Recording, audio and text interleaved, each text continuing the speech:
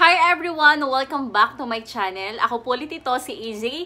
Today guys, napaka-exciting ng isi-share ko sa inyong product kasi ito yung grabe sabi ko, wow! Wow na wow na product na to guys. Sobrang na-excite talaga ako dito. At syempre, dahil na-excite ako, gusto ko i-share sa inyo yung magandang balita na meron na tayong best, best special sanitizer. So, di ba? Uh, yun guys, And kung interesado ka mapanood yung video ito, just keep on watching. So, ito siya guys. Kararating lang fresh na fresh ang ingay ng ating background. So, huwag nyo na lang guys sila pansinin. Ako na lang yung pansinin nyo. Okay. So, ito guys. Bago tayo mag-start, gusto ko lamang magpasalamat kay Ma'am Glyza Miranda. Thank you po sa package na to. And gusto ko lamang din i-shoutout yung kanyang anak na si 3D. Hello, 3D! And also ang aking sisterette na si Sandy Summer. Hello, sis! So, nakaka-excite tong product na to, guys. Kasi alam mo yun, habang pinapanood ko yung demonstration nito, sabi ko, wow, ang galing talaga naman. Kakaiba siya, guys. Ito yung kakaibang sanitizer, hand sanitizer. As in, tayo pa lang merong ganitong product sa buong mundo. Exclusive para sa mga taga-MCOR. Kahit umikot ka pa guys sa lahat ng mga multi-level na company, yung mga ganyan, wala ka pang makikita. Sa kanila pa lang talaga. Sila yung kauna-unahang may ganitong produkto. Okay? So, yan guys, umpisahan na natin at buksan na natin. Masyadong marami na akong dada. Before guys, uh, may ni-review na ako about sa mga uh, sa M4 guys, naku yung oil kasi nila napakaganda. Ang lakas maka-fresh. And ano siya guys, sobrang powerful din ng ano na yun, vitamin C na yun. Kasi doon talagang alam mo, madali akong pagpawisan doon eh. Talagang dati kasi ang problema ko, hindi ako pinagpapawisan. Pero nung nag-take ako ng ganun guys, talaga yung pawis ko talaga tumatak-tak talaga. And also nagtitake din kasi ako ng ano no, ng uh, ano alka, alka white. So pinagsasabay ko sila alka white tsaka yung alka C. And kung interesado kayo guys mapanood yung video na yun, ito dito ko sila ilalagay. Ayan, napakaganda rin ng product na to guys. And ito, ito, ito, ito. Ito na-try ko na rin to before. Ayan, yung sabon. Guys, yung sabon na to, nako, kung gusto mong maging amoy mayaman, talaga naman, yung sabon. Ayan, napakaganda rin ng sabon na to guys. Ito siya. Isang ganitong lalagyanan, tatlong peraso. Tapos, ayun nga, uh, marami kasi siyang ingredients. And hindi ko, in, mabilis lang, explain ko lang na mabilis guys. Meron itong ano, uh, uh, bee venom. Ito yung, di ba alam naman natin kapag bee venom, yung ibang tao dati talaga nagpapakagat pa sa mga bubuyog para para magkaroon sila ng venom sa katawan. So ikaw, hindi mo na kailangan magpakagat sa bubuyog. So nandito na siya. Isa sa mga ingredients ng sabon, yung V-venom. And meron din siyang snail slime, yung laway nung laway ng suso ba tawag dito? Nung slime. And also, meron din siya ng alga white. Yung alga white, kung pagkakaalala ko, ito yung pa, sa dagat to eh, para seaweeds yata ito. Parang ganun yata to, yung nasa dagat, na sabi na may mga fisherman dati na kapag napapansin nila, kapag sila nadidikit dun sa mga dahon-dahon na yun, napapansin nila, namumuti sila. So, meron siyang oregano na antibacterial and also virgin coconut oil para sa ating hindi tayo, uh, yung balat natin moisturize. So, yun guys, ito, papakita ko lang sa inyo talaga guys, napakabango ng product na to. Oo, napakabango talaga. Ayan siya. Meron din ako demo nito eh. Paano mo malalaman yung isang product ay masyadong ma-chemical? So, susunugin mo yung sabon. Kapag nag-itim yan, means maraming chemical na ginamit. So, ito guys, all natural talaga. Kapag sinunog mo, makikita mo, para lang siyang, para lang siyang kandilang natunaw. Ganun yung effect niya. So, napakaganda. So, ayun guys, uh, pinakita ko lang sa inyo yung sabon na to.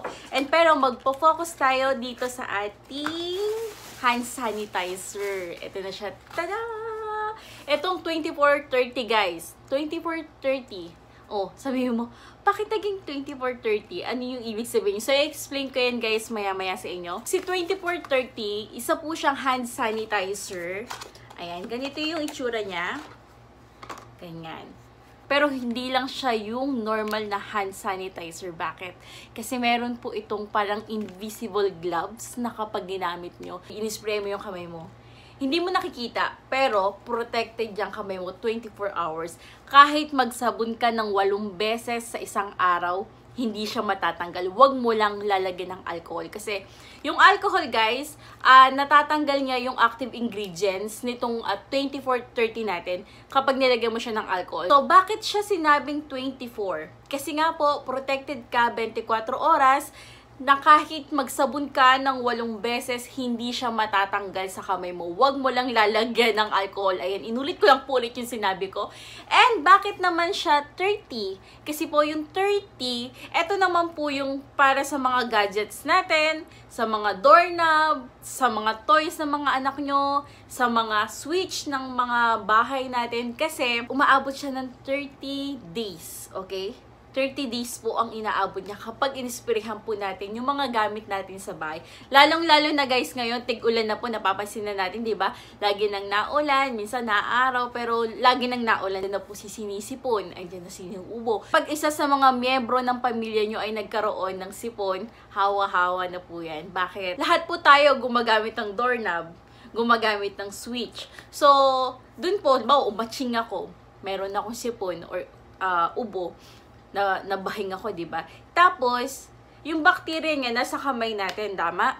Isla i kahawak ako ng doorknob. So, yung susunod na hawak ng doorknob sa akin, simple ngayon na mahawaan ko ng ubo. So, ganun lang guys. So, pero kapag meron yan, 24-30, inisprayhan natin yan, safe tayo dyan. Hindi nakakalat yung bacteria na nandito sa ating bahay. Pwede din ito gamitin sa uh, aircon filter. So, sa aircon filter, ang gagawin lang natin dyan, linisin mo yung aircon mo malinis. Tapos, papatuyuin mo muna siya. Hindi siya dumidikit guys sa basang surface. Kailangan tuyo yan para para dikitan niya nito. Okay? So, papatuyuin mo ng gusto yung ating aircon filter and pag buga niyan, pag open mo ng aircon, ayan, masasanitize niya na yung hangin na nakapalibot dito sa ating kwarto. So, di ba Ang galing, nakakatuwa talaga, guys. Paano ba kayo maniniwala sa sinasabi ko lang, di ba? Paano mo nasasabi na effective yan, nakakapatay ng virus, nakakapatay ng bacteria, nakakapatay ng kung ano-ano mang bacteria dyan sa ating kapaligid. Paano ka nakakasiguro? Paano mo nasabi, di ba? Alam ko marami nagsasabi sa inyo, paano, anong proof ko, di ba? bakit baka puro sasat lang ako. Syempre, hindi tayo magsasalita lang dito sa harapan nyo. Syempre, meron din po tayong ano dyan, uh, demonstration. Para makita nyo rin, kasi naniniwala tayo ng mga tao na maniniwala lang yan kapag nakita nila yung isang bagay kung effective nga ba. So, meron po tayong demonstration yan. So, ito po, ipapasok ko lang dyan. Thank you.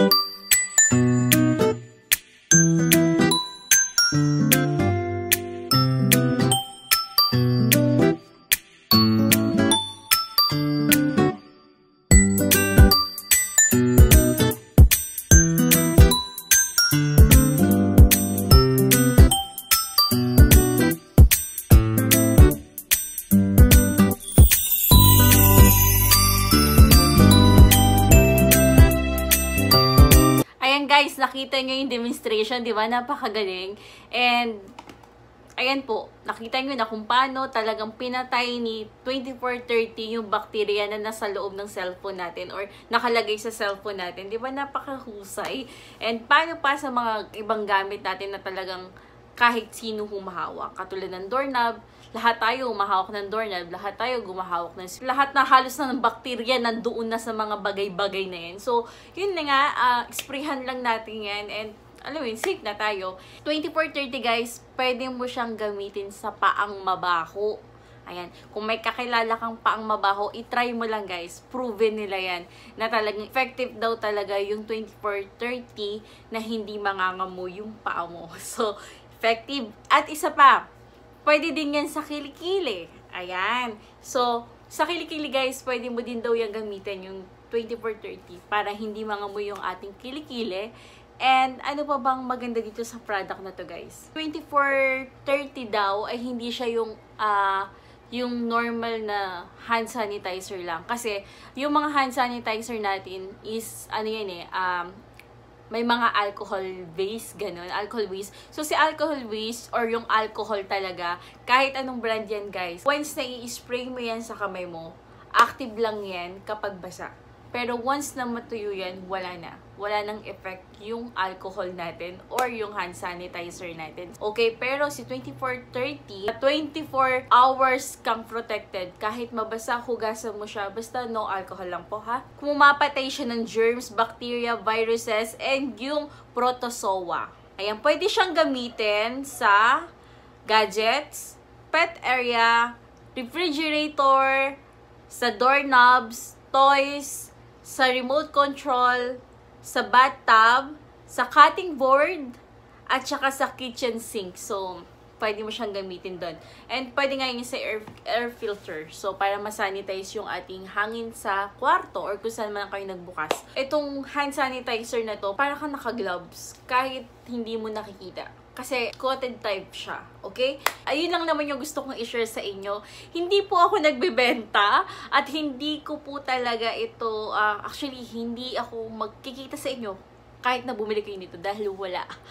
Gusto ko lang i-share sa inyo at ikwento yung nalaman kong product na super effective talaga guys. And naniniwala ako sa product na to kasi kung alam nyo lang guys, yung uh, AFEX Summit na naganap dito noong 2015, si MCOR po yung pinayagan nila na mag-sanitize na mga albulansya nung AFEX Summit noong 2015. So, yun po, kaya naniniwala ako sa product na to na talagang um, magaling. Magaling yung product na to guys. Yung mga taong interesado or gustong maka-avail ng product na to guys, uh, lalagay ko lang sa description box sa baba yung kung saan kayo pwede makabili, okay? Or kaya sa comment section. Bago ko tapusin yung video na to, ayan, magsha-shoutout po muna ako sa aking mga new babies. Hello, guys! Ayan, shoutout nga pala kay Princess Wendy Manuntag, kay Kit Vililari Ambonanza, at saka kay Jenna Ira Ricanado Reconasi, at saka kay Mary Gail Santiago. Ayan. Yung mga to guys, vlogger dito, kaya kung may time kayo, pwede nyo i-check yung kanilang channel. Okay? So, yun lang guys. Maraming maraming salamat sa panonood. At kung nagustuhan mo yung video na to, please give me a thumbs up and comment naman po kayo dyan sa baba. Lalong-lalo na po yung mga nakatry na nito guys. Ayan. Comment nyo naman yung experience nyo kung bakit nyo siya nagustuhan. Okay? So, yun lang guys. Maraming maraming salamat. Hanggang sa muli. Bye!